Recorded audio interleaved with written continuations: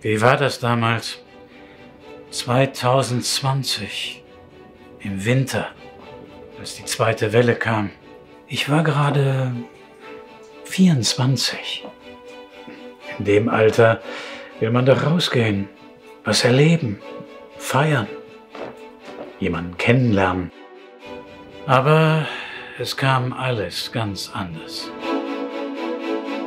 Eine unsichtbare Gefahr bedrohte auf einmal unser Leben.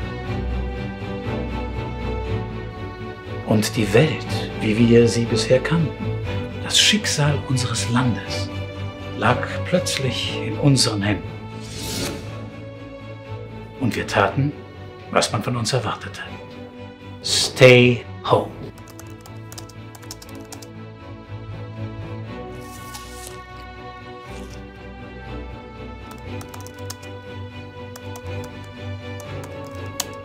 Aber wir machten Sport. Mit Geduld und Sport kämpften wir gegen die Ausbreitung des Coronavirus. Unser Schweinehund war die Front.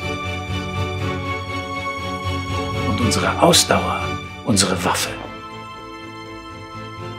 Wenn ich mich heute an 2020 erinnere, muss ich fast ein bisschen schmunzeln. Leute, macht mit. Gemeinsam halten wir uns gesund. Ich glaube an das Miteinander. Deshalb unterstütze ich aktiv Wir machen wir. Lasst uns Ingolstadt gemeinsam gestalten. Macht mit. Ich mache jetzt auch mit. Wir auch. Ich auch. Ich auch. Ich auch. Ich auch.